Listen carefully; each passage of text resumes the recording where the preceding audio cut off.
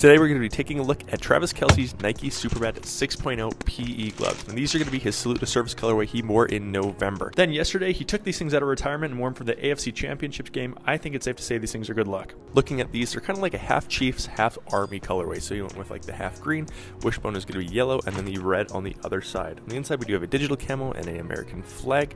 And then when we're going to open these gloves up, you can see we have the T-Rex 87 logo that Travis Kelsey uses and Killer Trav.